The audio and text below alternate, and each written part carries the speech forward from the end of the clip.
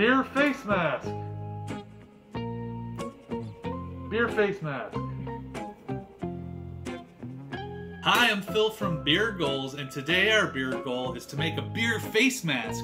That's right, we're gonna make a face mask that you can drink beer with. You can responsibly use social distancing while drinking beer.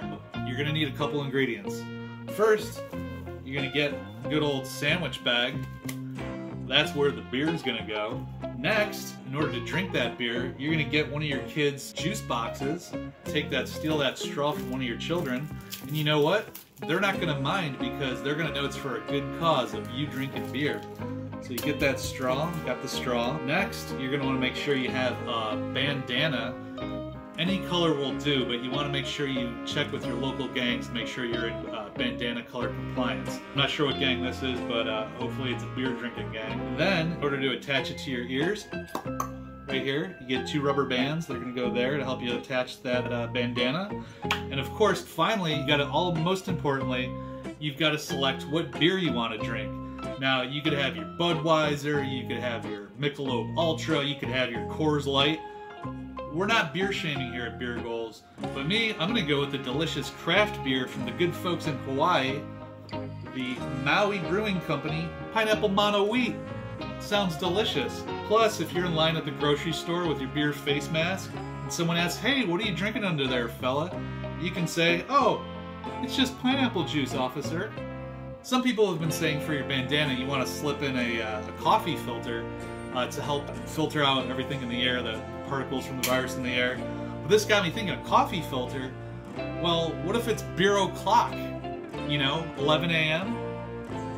So we're to go with a beer filter. We're to put a beer filter in our face mask. Now a quick Beer Goals disclaimer. Please consult with somebody who actually knows what they're talking about before making a face mask. The only thing that this face mask is to protect you from is being sober. About the only thing that we're not socially distancing is this beer from going into our mouth, am I right? So try to stay inside as much as possible, but if you do have to go outside, have some beer to put inside your belly. So first, we're want to fill up the beer filter.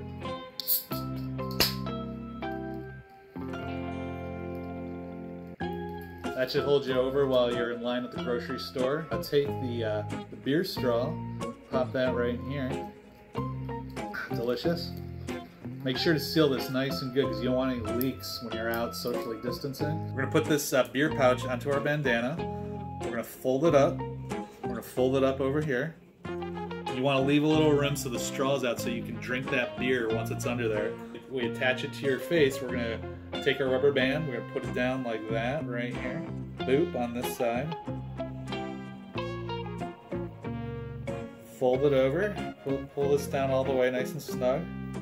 Alright, make sure you're you got room for your straw right there. Once you have it folded over, well, now it's time to put on your beer face mask. On that side. On that side.